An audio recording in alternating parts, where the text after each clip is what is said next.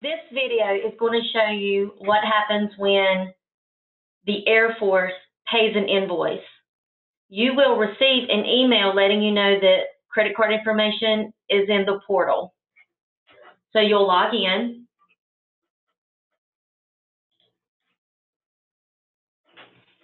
You'll go to online services and manage invoices.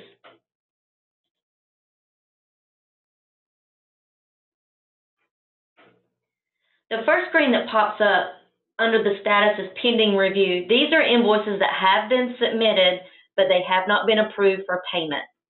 So you will go to process and hit search.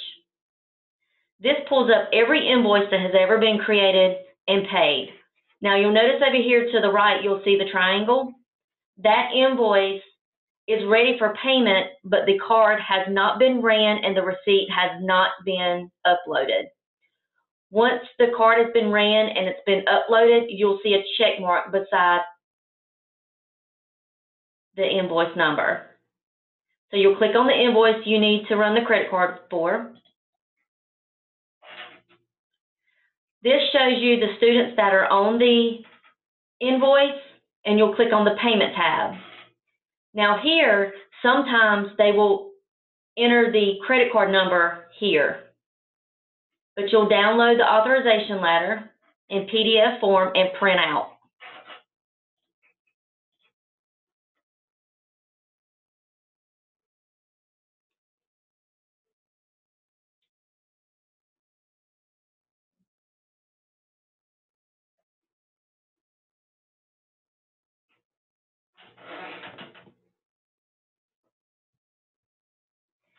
Here you will have your credit card number. Now you'll notice on this particular one, it's all ones.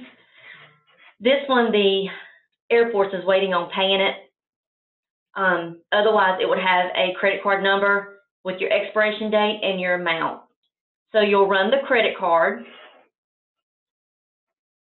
Once the credit card's been ran, you'll go into cash receipts. And you'll enter in the students that are in that particular invoice. And you need to keep the invoices if you have a couple that same day in separate batches. So after you enter the information into cash receipts, you'll need to go back to the portal and you'll enter in the authorization code that is on the receipt. On the receipt, it says approved code. So you'll enter in that code You'll do it twice. And then the authorization date is the date you ran the card. And then you'll select the file where you scan the receipt and you'll click upload. Once you upload it, it will say up here, upload successful. And then you'll be able to go back to your manage invoices and see that it has the check mark beside it. And that is all you have to do to pay an invoice.